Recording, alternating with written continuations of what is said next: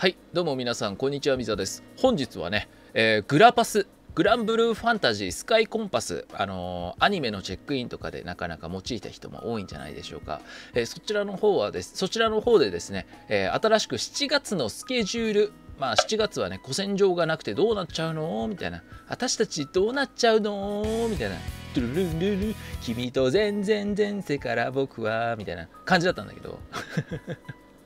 感じだったんですけれども、えー、そちらの方のね、イベント予定が出てきましたので、そちらの方チェックしていきたいと思います。スケジュールはこちらはい。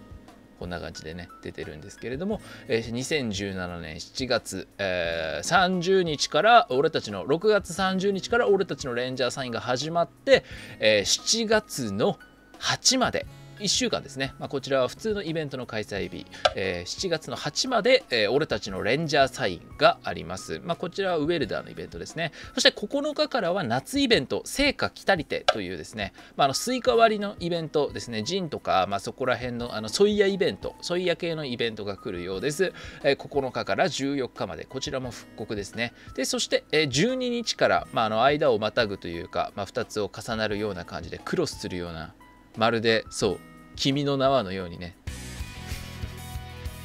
今日の今回の謎の君の名はをしクロスしていくわけですよね。クロスしていって入れ替わってエクストラジョブエクストラ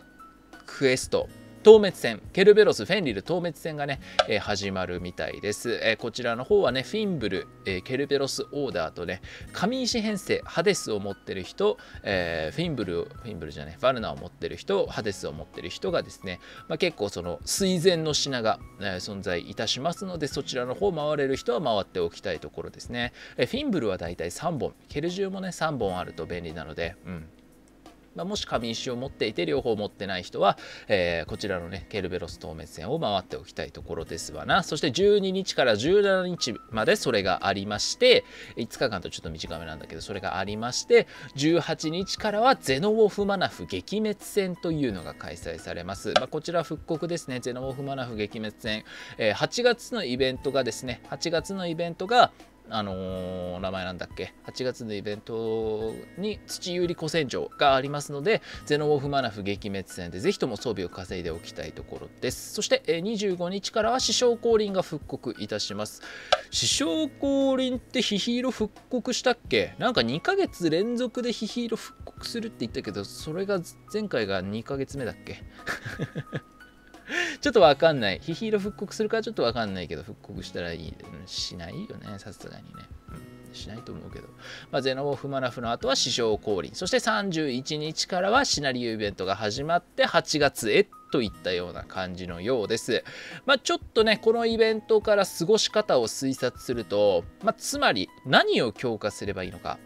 うん。風ですね。そう。俺たちのレンジャーサイン、えー、ケルベロス・フェンリルをやってる間に聖火来たりてをやってる間に風属性を鍛えてゼノオフマナフに備えるべきでしょう。これは間違いなく、えー、ゼノオフマナフ撃滅戦に備えて、えー、土のゼノオフコト、まあ、ゼノオフコトが何本いるかっていうとですね、まあ、大体2本あると生きれます。上石編成だと1本。あるかないかでいいと思うんだけど、まあ、なくてもいいかな。1本にか2本あれば。1本。